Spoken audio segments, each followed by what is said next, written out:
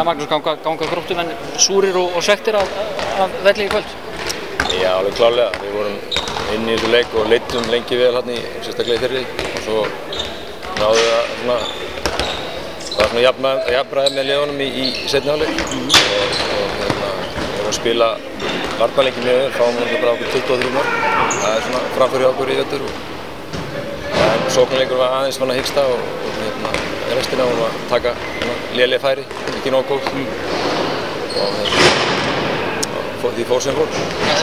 Mikla, mikla sveiflur í þessu og, og sko, þeir byrja ágætlega framaraldur og verðast alltaf að svona hálfpartin að gera þetta með vinstri.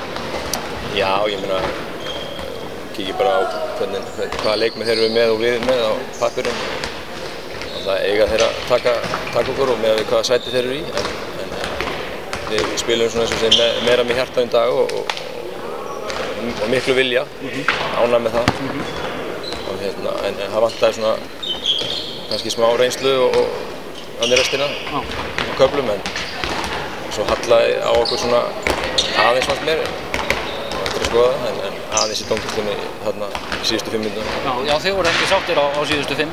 Nei, það var náttúrulega tvö-þrjú atrið sem voru alveg út í kortið sko. Ég verði aðeins að, hérna, þú myndist nú á varnalíkin. Hann svona virkar á köflum pílíti kaotískur en, en menn vinna það svolítið upp á, á baráttu og, og virðast þó þráttur allt svona vita hver af öðrum.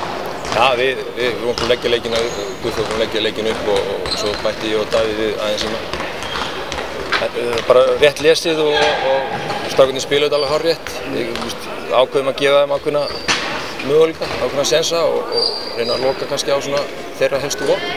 Það tókst alveg. Ég segi, það var, það var sóknin sem að það, tappaði leiknum fyrir okkur. fannst mér.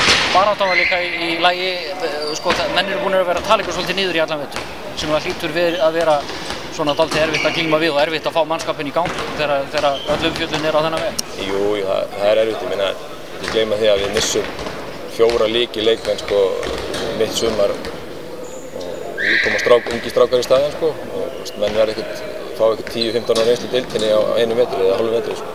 Þetta, og það kannski sýnir sér með restina, það var smá óðagott, sko, menn er að kæra upp hraðablutinn, en, en hérna, þetta, þetta er bara svona, við, veist, þeir eru að læra þessi guttar. Og þið hljótið að fara að reynda stig með þessu áframhaldi. Já, já, það er bara, það er ekkert annað, getum ekki hægt. Hvað er annars að frétta þér? Allar, er, er þetta framtíðasöngurinn að vera á, vera á bekknum?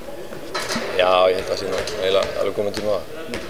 Þú er kornungum aður þetta. Já, nóg eftir Já. tíu ár. Fastir að spila. sko. Ég segi það. Þetta er svona kannski það sem við höfum eftir að sjá meira til í á, á svona komandi misserum.